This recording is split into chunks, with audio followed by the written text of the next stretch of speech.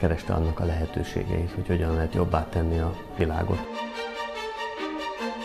Nem vette észre azokat a veszélyeket, amelyek tényleg a fennálló rend ellen irányultak. Egy olyan alap, amire aztán lehet építkezni.